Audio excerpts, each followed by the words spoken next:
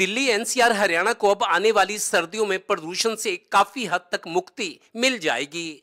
दरअसल तीन साल में 909 करोड़ की लागत से पानीपत रिफाइनरी में देश के पहले एथनॉल प्लांट का उद्घाटन पीएम ने बुधवार को ऑनलाइन किया।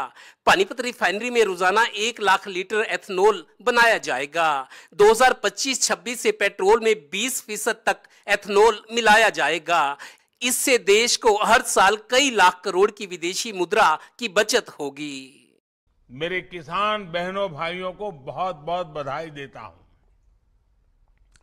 वैसे आज हरियाणा डबल बधाई का हकदार भी है।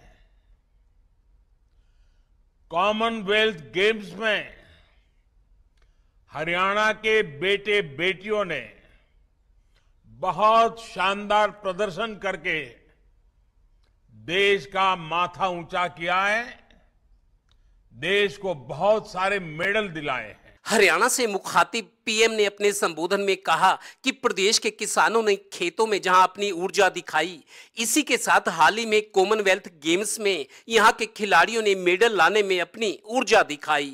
पीएम ने विपक्ष पर निशाना साधते हुए कहा कि काले कपड़े पहनने वालों की मंशा देश के लोग अब जान चुके हैं। सरकार के खिलाफ झूठ पर झूठ बोलने के बाद भी जनता जनार्दन ऐसे लोगों पर भरोसा करने को तैयार नहीं है। ऐसी हताशा में ये लोग भी अब काले जादू की तरफ़ मुड़ते नज़र आ रहे हैं। पेट्रोलियम एवं प्राकृतिक गैस मंत्री हरदीप पुरी ने कहा देखिए पराली की जहाँ तक चर्चा है अभी क्या रही है किसान जो स्टेट्स हैं जहाँ पे पराली की आ, समस्या है पंजाब हरियाणा बाकी सबको कोई रास्ता निकालना था। तो ये बहुत रिसर्च करने के बाद हमने देखा ये सेकंड जनरेशन एथेनॉल प्लांट दो हैं मतलब दो देशों में है अमेरिका में और ब्राज़ील में।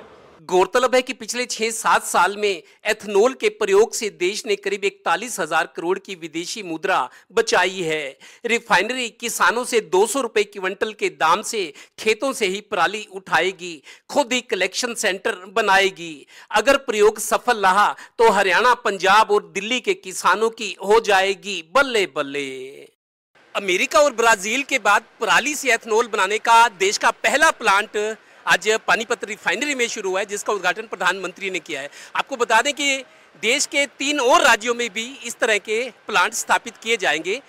दिल्ली एनसीआर, हरियाणा में प्रदूषण बढ़ने के कारण, जो कि पराली जलाई जाती है, प्रदूषण बढ़ने से फैक्ट्रियाँ ही बंद नहीं होती, धरती माँ की छाती भी छलनी होती है। अब इस समस्या से छुटकारा मिल पाएगा। सहयोगी श्रीनिवास के साथ Devendra Kathoria total news Panipat refinery.